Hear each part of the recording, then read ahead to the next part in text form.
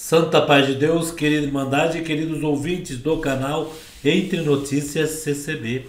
Tudo bom com vocês? Sejam todos bem-vindos ao nosso canal de notícias. Hoje nós vamos colocar um vídeo de uma irmã, serva de Deus. Olha só, irmãos. Ela se viu em grande aflição porque devia uma certa importância. No vídeo que vocês vão ver aí, não dá para perceber realmente o que aconteceu.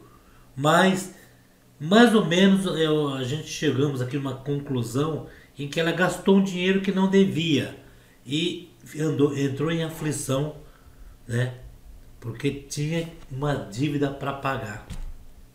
Veja bem, ela entrou para o quarto, foi se ajoelhar e pedir para o Senhor uma providência na vida dela, né? Vê a humildade dessa serva de Deus ela mostrando o que ela achou nas bolsas, a importância que tinha, irmãos. Veja só. Então.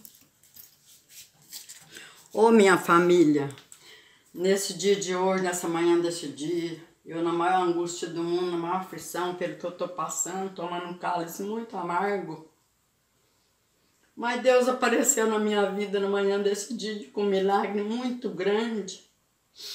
Eu tinha pegado um dinheiro que não é do meu esposo e ele tinha feito compromisso com aquele dinheiro. E ele não gostou né, daquilo.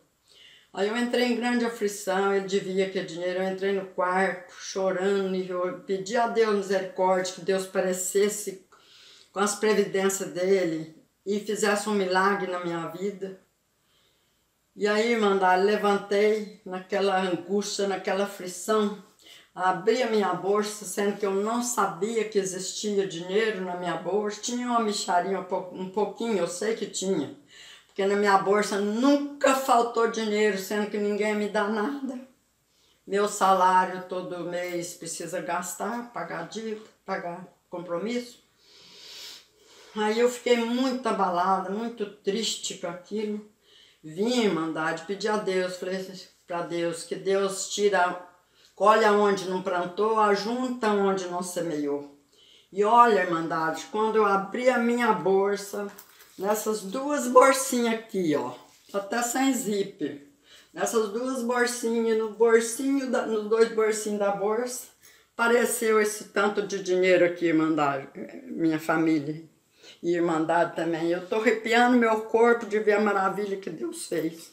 Aí eu falei, eu vou chamar a irmã aqui, minha vizinha, a irmã Luciana, para ela filmar e vou passar no grupo da família e vou passar para muitos, para aumentar a fé, porque o Deus que nós servemos não dorme nem toscaneja.